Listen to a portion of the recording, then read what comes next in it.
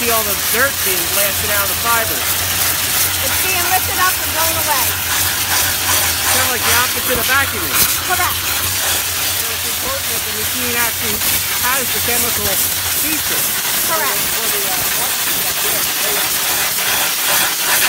Look at all that dirt on that bucket you blew, blew out. Yeah. Yeah. Wow, that looks beautiful. If you feel the carpet, it's really not that wet. Yeah, feel. It's like your hand.